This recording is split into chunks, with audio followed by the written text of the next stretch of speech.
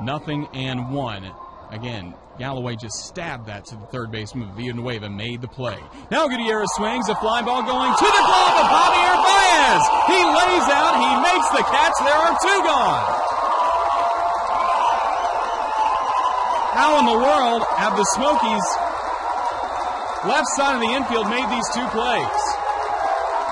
Villanueva, an outstanding line drive snare to begin the inning. Now Javier Baez, the Jacksonville native, playing in his hometown, lays out, diving towards the second base bag, makes the catch to keep the no-hitter intact for Eric Jokisch. There are two down, and Derek Dietrich, the last man standing in his path, to a no-hitter.